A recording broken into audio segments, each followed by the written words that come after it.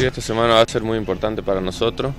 Estos doble turnos estamos tratando de aprovecharlos de la, de la mejor manera y bueno, este, también con los compañeros nuevos que se han, que se han, que se han incluido en nuestro equipo, este, vamos a tratar de, de como te digo, hacer la, asimilar la, la, idea del profe lo más rápido posible y bueno, y formar un gran grupo.